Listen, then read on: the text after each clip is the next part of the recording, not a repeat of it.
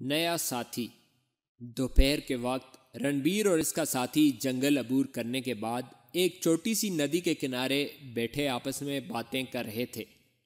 इनके घोड़े जो थकावट और भूख से निडाल हो चुके थे, नदी के आसपास उगी हुई घास चर रहे थे। रणबीर की सरगजश सुनने के बाद अजनबी ने इससे सवाल किया, अब आप कहाँ जाना चाहते हैं? रणबीर ने जवाब दिया, मेरी मंजिल कोई नहीं। इस वक्त ज़िंदा रहने की ख्वाहिश ने मुझे कहीं दूर पहुँचा दिया है। आप हैरान होंगे कि आपको देखने के बाद अब तक मैंने ये सोचने की ज़रूरत महसूस नहीं की कि मैं कहाँ जा रहा हूँ। और इस वक्त भी अगर आप मुझसे ये सवाल ना पूछते तो मेरे दिल में ये ख्याल ना आता। मैं ये महसूस कर रहा था कि कुदरत ने मेरा हाथ आपके हाथ में दे दिया है और मुझे सोचे समझे बगैर आपके पीछे चलना चाहिए। अजनबी ने गौर से रणबीर की तरफ़ देखते हुए कहा यह अजीब बात है।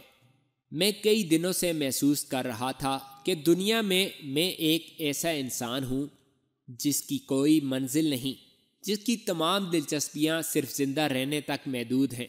सिर्फ़ मौत का खौफ मेरा दायमी रफ़ीक है और अपनी ज़िंदगी के उदास, मगमूम और ना ख़त्म होने वाले रास्तों पर मुझे कोई साथी नहीं मिलेगा। जंगल में अपने दुश्मनों से पीछा छुड़ाने के बाद जब आप मेरे पीछे चल दिए तो हर आन में ये महसूस कर रहा था कि आप किसी जगह अचानक अपना घोड़ा रोक कर कहेंगे कि मैं फ़लाँ शहर या फ़लाँ बस्ती की तरफ़ जा रहा हूँ। आपका चेहरा मखमूम होने के बावजूद भी इस बात की गवाही दे रहा है कि आपकी दुनिया में और मेरी दुनिया में काफ़ी फ़र्क है। आप किसी बड़े आदमी के बेटे हैं, किसी आलीशान महल में आपका इंतज़ार हो रहा होगा। इतने आदमी एक मामूली आदमी के दुश्मन नहीं हो सकते। आपके दुश्मनों की तरह आपके दोस्त भी बहुत होंगे।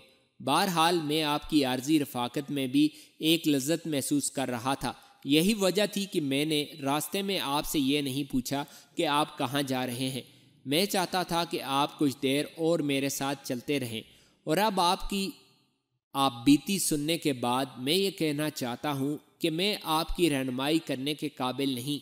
लेकिन अगर आपको एक साथी की ज़रूरत है तो मैं आपके साथ हूँ। रणबीर ने कहा, मैं इस मुलाकात को महज एक हादसा नहीं समझता। शायद कुदरत ने अपने किसी नामालूम मकसद की तकमील के लिए हमें मुख्तलिफ़ सिमतों से धकेल कर एक जगह इकट्ठा कर दिया है, और शायद हमारे लिए अपनी अपनी मंजिल और रास्ता मुतन करने के लिए कुछ अरसा एक दूसरे की रफाकत ज़रूरी हो। क्या मैं ये मालूम कर सकता हूँ कि आप कौन हैं, कहाँ से आए हैं, और वो वाक़ात क्या हैं जिन्होंने आपको मेरा साथी बना दिया है? अजनबी ने रणबीर के सवालात के जवाब में अपनी सरगजश सुना दी। यह अजनबी रामनाथ था, जिसने अपने बाप के कत्ल पर गुस्से से मगलूब होकर एक ब्राह्मण पर हाथ उठाने की ज़रूरत की थी, जिसे सोमनाथ का पुजारी होने की हैसियत से बड़े बड़े राजे वाजिब ताज़ीम ख्याल किया करते थे। अपने गाँव से फरार होने के बाद रामनाथ को जल्द ही इस बात का एहसास हो गया कि सोमनाथ के पुजारियों का एताब मोल लेने वाले इंसान के लिए देवताओं की मुकदस सरजमीन में कोई जगह नहीं।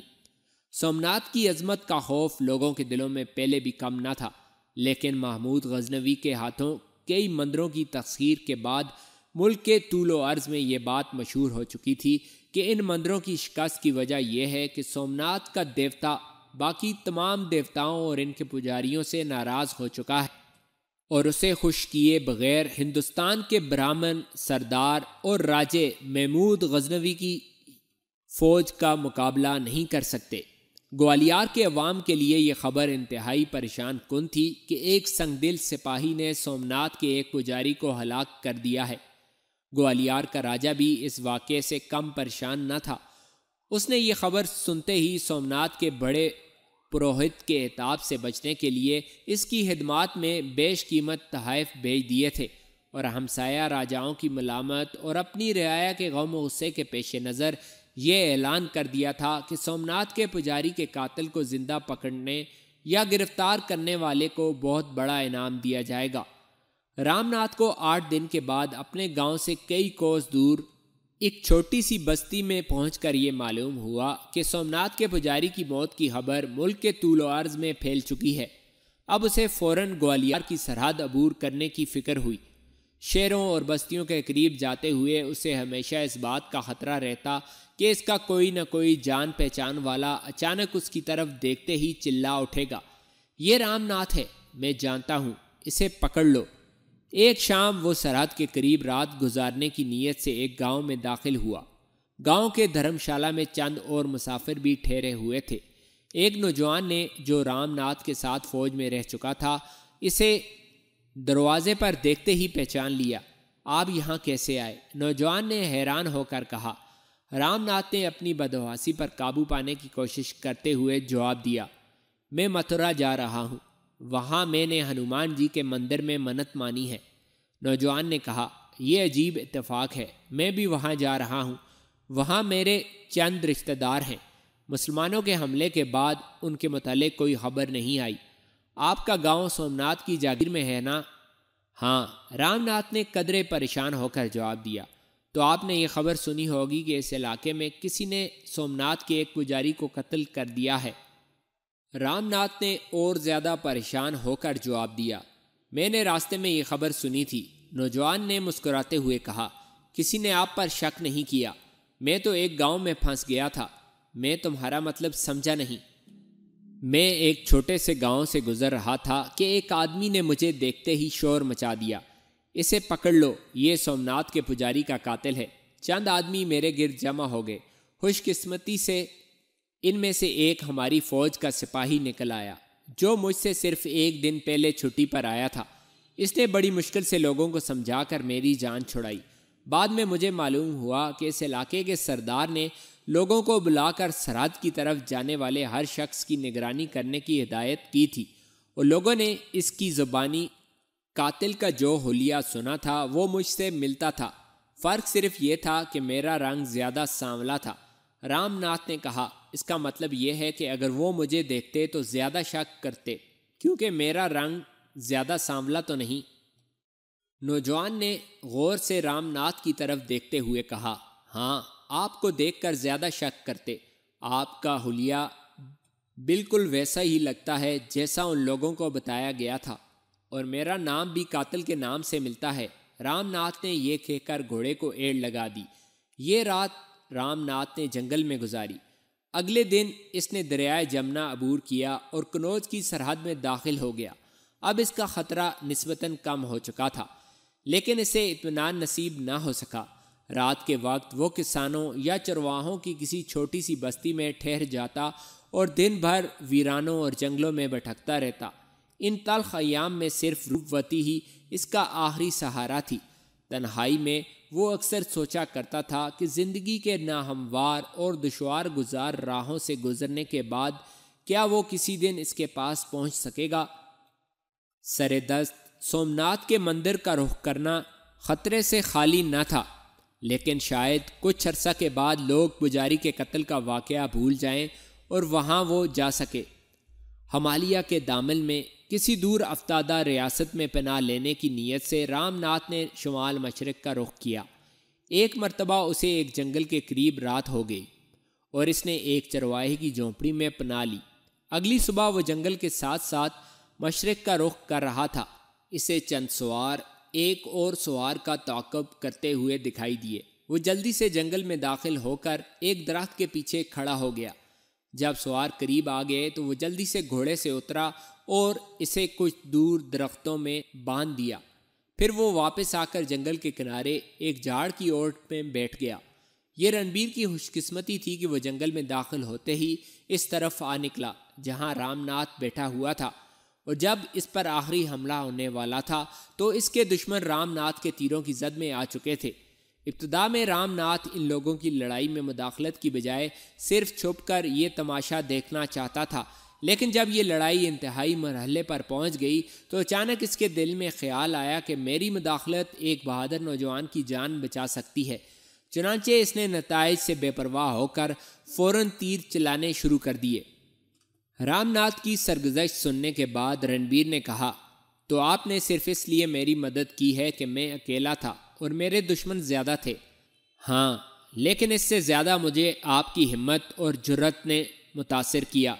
अगर आप दुश्मन के कहने पर हथियार फेंक देते तो मैं शायद आपकी मदद करने की बजाय अपनी जान बचाने की फ़िक्र करता।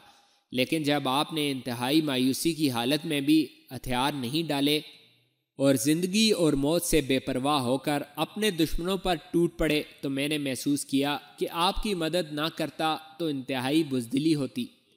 आपने एक ऐसी आदमी की जान बचाई है जो कभी किसी का एहसान नहीं भूलता। आज से आप मेरे भाई हैं। ये कहते हुए रणबीर ने अपना हाथ रामनाथ की तरफ़ बढ़ा दिया और रामनाथ ने इसका हाथ अपने दोनों हाथों में लेते हुए कहा, आपका छोटा भाई। कनौज की शुमाली सरहद अबूर करने के बाद रणबीर और रामनाथ चंद दिन इधर उधर भटकते रहे।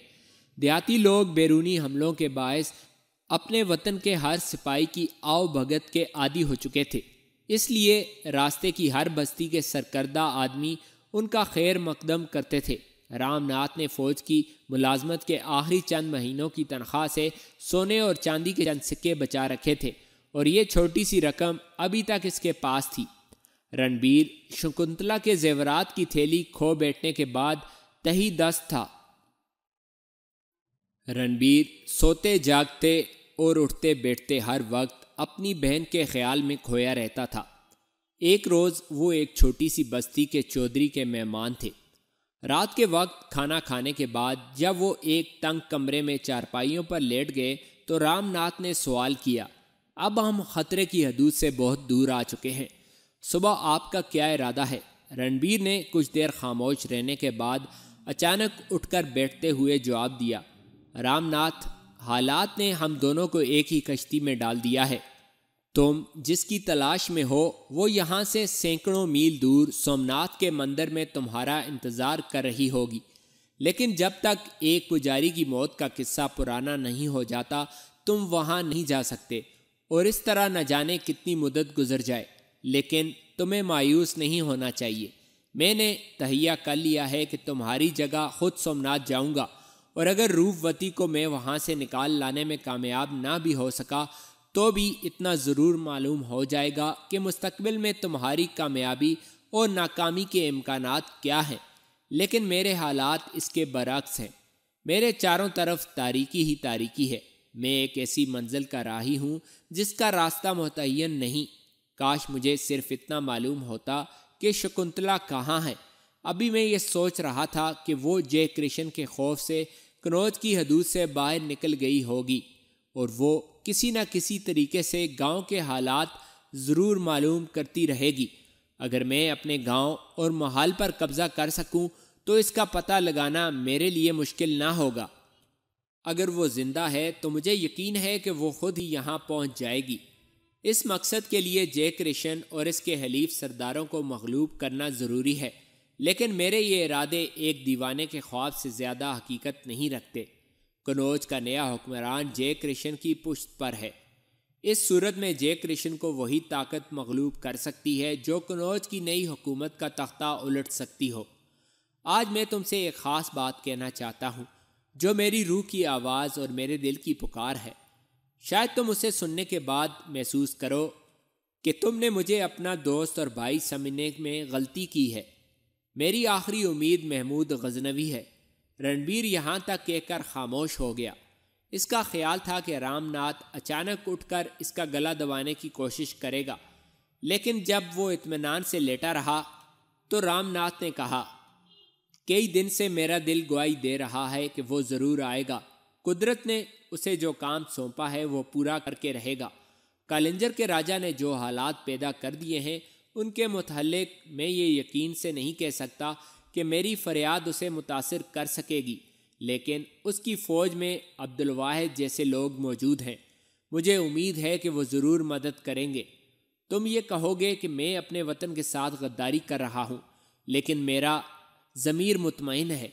वतन की खिदमत इससे ज़्यादा और क्या हो सकती है कि उसे जय कृष्ण जैसे दरिंदों से पाक किया जाए? तो मुझे समाज का दुश्मन कहोगे, लेकिन मेरी निगाहों में समाज का तिलिस्म टूट चुका है। जो इंसानों को भेड़ों और भेड़ियों के ग्रोहों में तकसीम करता है। रामनाथ, मैं महमूद गजनवी की राह देखने जा रहा हूँ। अगर मेरी ये आरज़ू पूरी होती है तो मुझे यकीन है कि शकुंतला को तलाश करने में देर नहीं लगेगी। और इसके बाद मैं तुम्हारे लिए सोमनाथ जाने का वादा पूरा कर सकूँगा। अगर शकुंतला के बारे में मायूसी हुई तो भी मैं सोमनाथ ज़रूर जाऊँगा। लेकिन इस वक्त मैं तुम्हें अपना साथ देने पर मजबूर नहीं करूँगा।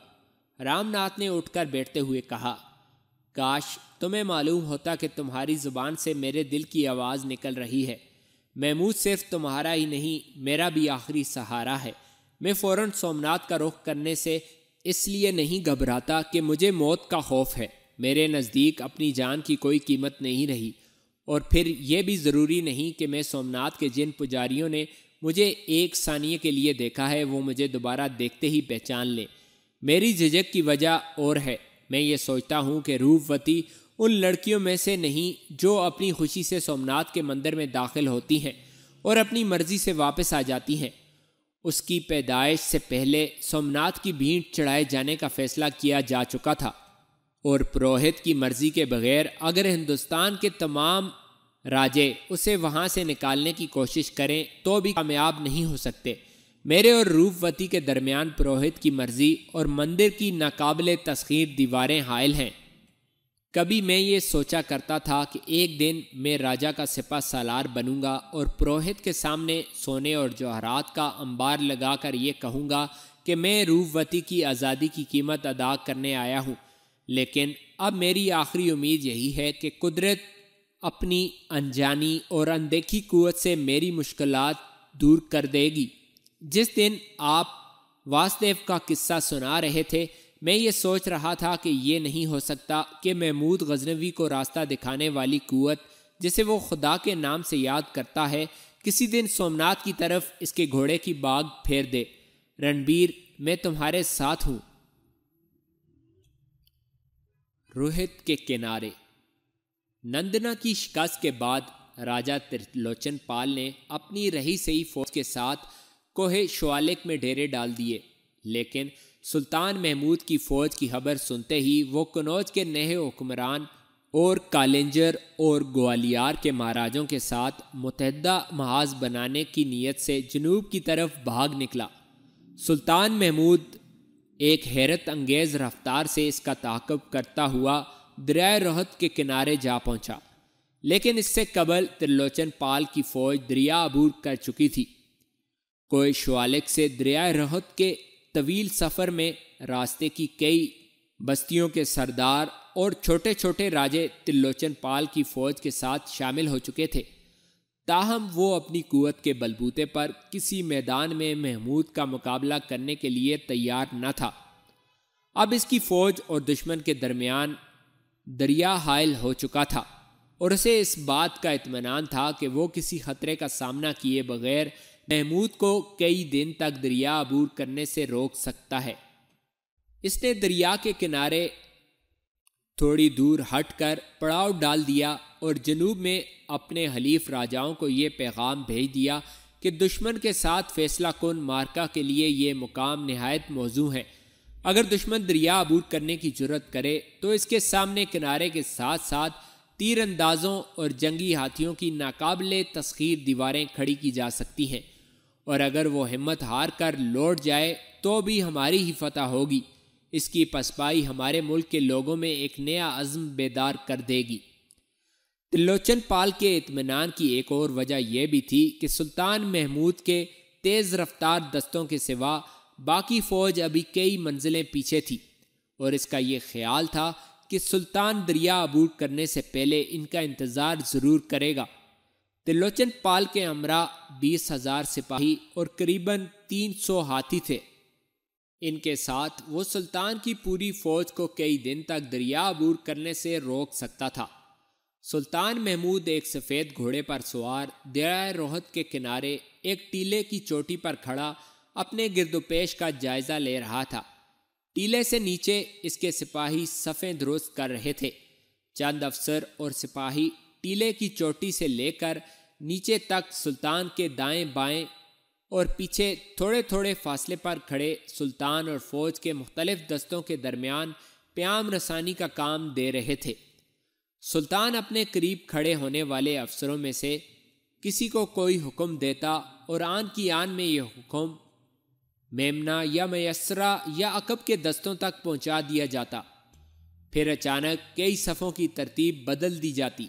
आठ हज़ार जांबाज दरिया की तूफ़ानी मौजों से खेलने के लिए अमीर लश्कर के इशारे के मुंतज़र थे।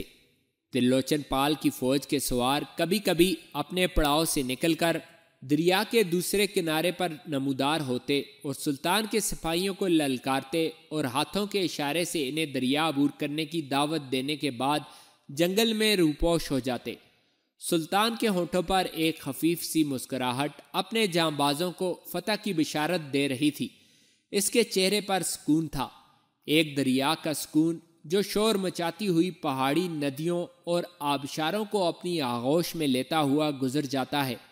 गुजशत तीस साल में वो कई दरियाओं की गहराइयों और पहाड़ियों की बुलंदियों और सहराओं की वसतों के सामने एक इंसान के नाकबिल तस्खीर अज़म हिम्मत का मुजाहरा कर चुका था। पचास साल की उम्र में इसका चेहरा समंदर की उस चट्टान की तरह था, जिसके साथ अनगिनत लहरें टकरा चुकी हों। लेकिन इसकी निगाहों में अभी तक उकाब की सी तेज़ी और शेर का जबरूद था। त्रिलोचन पाल को यह मालूम ना था कि जिस फौज को वो दरिया के पार रोकना चाहता है, इसका हर सिपाही आने वाली रात दरिया के दूसरे किनारे गुजारने का अज़म कर चुका है।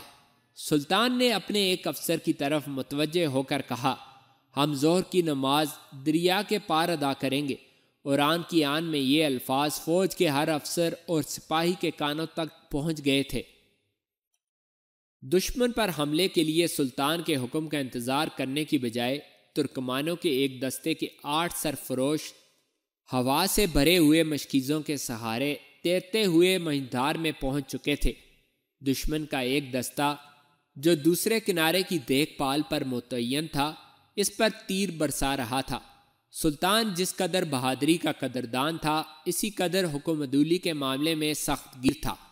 लेकिन इस मौका पर इसने गैर मुतव जब्त से काम लिया और अपने गिर जमा होने वाले अफसरों की तरफ़ देखकर बुलंद आवाज़ में कहा आगे बढ़ो। आन की आन में फ़ौज के बाद सिपाही मशकीज़ों के साथ और बाकी घोड़ों समेत दरिया में कूद पड़े। सुल्तान ने खुद भी टीले से नीचे उतरकर दरिया में घोड़ा डाल दिया। आठ सरफरोश जिन्होंने मशकीज़ों के सहारे दरिया अबूर करने में सबकत की थी, दुश्मन की तीरों की जद में आ चुके थे। अचानक दो सरपट सवार, जो बज़ाहिर हिंदू फौज के सिपाही मालूम होते थे, एक छोटे से टीले के पीछे से नमूदार हुए और उन्होंने दरिया अबूर करने वाले तुर्कमानों की तरफ़ तवज्जो देने की बजाय तीरंदाजों के मोर्चों पर हमला कर दिया और पाँच आदमी मोट के घाट उतार दिए। बाकी तीरंदाज इंतहाई सरमसीमगी की हालत में भाग निकले। हिंदू सवारों के चंद और दस्ते जो दरिया और पड़ाव के दरमियान फैले हुए थे, आगे बढ़े, लेकिन दरिया अबूर करने वाले लश्कर की ज़रूरत और हिम्मत से मरूब होकर वो मुकाबला किए बगैर पीछे हट गए। आठ तुर्कमान दरिया अबूर करते ही अपने हिंदी मददगारों के गिर्द जमा हो गए। उनमें से एक ने अपने सर से खाल की टोपी उतार कर एक सवार को पेश करते हुए मिली जुली हिंदी और फारसी में कहा, हम नहीं जानते कि तुम कौन हो, लेकिन हम तुम्हारे शुक्रगुजार हैं। मुझे डर है कि हमारे साथी तुम्हें पहचानने में गलती ना करें। इसलिए अपनी पगड़ी की जगह ये टोपी पहन लो। एक तुर्कमान ने इसकी तकलीद की और अपनी टोपी उतार कर दूसरे सवार को दे दी। इन सवारों में से एक रणबीर और दूसरा रामनाथ था। तुर्कमानों की टोपियाँ पहनने के बाद दरिया अबूर करने वाली फौज की तरफ़ देख रहे थे। रामनाथ ने अपने साथी की तरफ़ मुतवजह होकर कहा, भगवान की कसम, ये इंसान नहीं। आज के बाद अगर कोई मुझसे ये कहे कि लश्कर समंदर की सतह पर दौड़कर किसी दूसरे मुल्क पहुँच गया तो मैं तहजब नहीं करूँगा। दरिया के किनारे घने दरख्तों के पीछे घोड़ों की टापें, हाथियों की चिंगाड़ और आदमियों की चीहो पुकार। ये ज़ाहिर कर रही थी कि त्रिलोचन पाल की सारी फौज इस गैर मुतव सूरत का सामना करने के लिए हरकत में आ चुकी है। लेकिन इतनी देर में सुल्तान की फौज के कई दस्ते दरिया अबूर कर चुके थे। रणबीर को अपने करीब दरख्तों के पीछे से पाँच हाथियों का एक दस्ता आता हुआ दिखाई दिया। हाथियों का रुख रणबीर के दाएँ हाथ सिपाहियों के इस ग्रोह की तरफ़ था, जिन्हें दरिया अबूर करने के बाद अभी किनारे पर पाँव जमाने का मौका नहीं मिला था। बाज सिपाही इधर उधर मुंतशिर हो गए और बाज ने किनारे के पत्थरों की आड़ लेकर हाथियों पर तीरों की बारिश शुरू कर दी। दो हाथी बदहवास होकर वापस मुड़े और अपने अकब में पेशकदमी करने वाले तीरंदाजों को रोनते हुए निकल गए। लेकिन तीन हाथी बदस्तूर आगे बढ़ रहे थे। एक हाथी पत्थरों की आड़ से तीर बरसाने वाले आदमियों के करीब आ चुका था। चंद सिपाही उल्टे पाँव भागते हुए दरिया में कूद पड़े और बाकी इधर उधर हट गए। लेकिन तीन जो सबसे आगे थे, अपनी जगह से ना हिले। एक हाथी इनके तीरों से जख्मी होने के बाद गजबनाक होकर अपनी सूंड बुलंद करते हुए चीखता चिंगाड़ता आगे बढ़ा। एक सवार ने अचानक पत्थर की आड़ से निकलकर तलवार सौंत ली और हाथी के सामने खड़ा हो गया। इसकी हलाकत यकीनी समझकर रणबीर ने अचानक घोड़े को एड़ लगाई और नेज़ा बुलंद करते हुए हाथी पर हमला कर दिया। इसका नेज़ा हाथी की सूंड में अटक कर रह गया। हाथी ने एक दिल दहला देने वाली चीख के साथ रणबीर पर हमला किया। रणबीर ने घोड़े को एक तरफ़ मोड़ने की कोशिश की, लेकिन बदहवास घोड़ा सीह पा होकर गिर पड़ा। रणबीर एक तरफ़ लुढ़क कर उसके नीचे आने से बच गया, लेकिन अभी वो उठकर संभल ना पाया था कि दोबारा हाथी की जद में आ गया। रामनाथ ने उसे बचाने के लिए हमला करना चाहा, लेकिन इससे पहले एक और सिपाही ने तलवार के भरपूर वार से हाथी की सूंड काट दी। फिर रामनाथ का नेजा भी हाथी की आँख पर आकर लगा। वो एक चक्कर काटने के बाद भाग निकला। इतनी देर में तुर्कमान आगे बढ़कर बाकी दो हाथियों का रुख फेर चुके थे। त्रिलोचन पाल की फौज में करीबन 300 हाथी थे, लेकिन पेशतर इसके कि वो अपनी फौज को मुनज़म करके हमला करता, सुल्तान की फौज दरिया अबूर कर चुकी थी। हाथियों के मुंतशर दस्ते सारी फौज में बिखरे हुए थे और वो दुश्मन की बजाय अपनी ही फौज में तबाही मचा रहे थे। सुल्तान की फौज ने आन की आन में पूरी तंजीम के साथ दुश्मन पर हमला कर दिया। सुल्तान की क्यादत में तुर्क और अफ़गान सवारों के चंद दस्ते आंधी के तेज झोंके की तरह दुश्मन की फौज को दरमियान से चीरते हुए अकब में जा पहुँचे। इसके साथ ही बाकी सवार त्रिलोचन पाल की फौज के दाएँ और बाएँ बाजू पर टूट पड़े। सुल्तान की फौज के हिंदी सिपाहियों के दस्ते साठ हाथियों की एक कितार के सामने आ चुके थे। हर हाथी की हदज में दो तीरंदाज बैठे हुए थे, जो बेतहाशा तीर बरसा रहे थे। रणबीर और रामनाथ सुल्तान की फौज के हिंदी दस्तों के साथ शामिल हो चुके थे। हाथियों की कतार जो इन दस्तों की तरफ़ बढ़ रही थी, इस कदर मुनज़म थी कि सामने से हमला करके उनका मुँह फेर देना नामुमकिन था।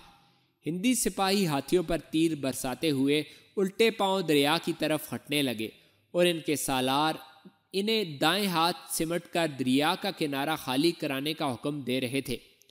ये देखकर फीलबानों ने हाथियों का रुख भी इसी तरफ़ फेरने की कोशिश की, लेकिन हिंदी दस्तों के सालार ने अचानक एक छोटा सा चक्कर काटने के बाद दाएँ हाथ मोड़कर हाथियों के अकब में पेशकदमी करने वाले दस्तों पर हमला कर दिया और किसी शदीद मुजामत का सामना किए बगैर उन्हें तितर बितर कर दिया।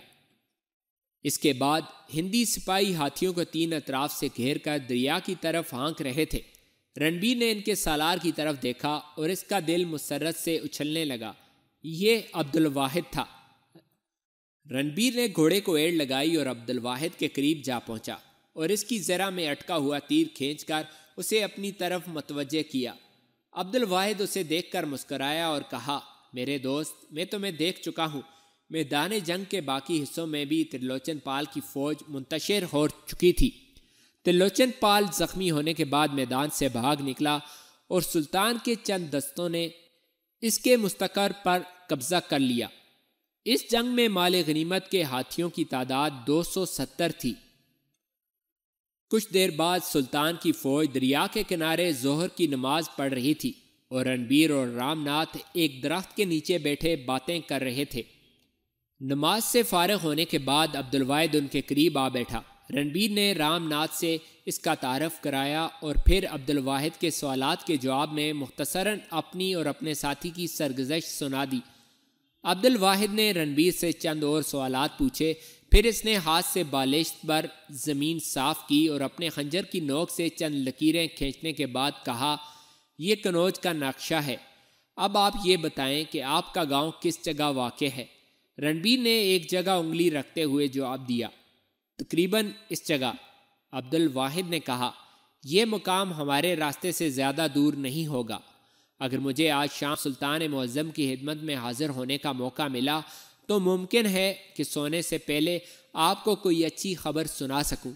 सर दस्त आप ये इतमान रखें कि अगर अब नहीं तो इस मुहिम के खात्मे पर आपके गाँव ज़रूर जाएँगे।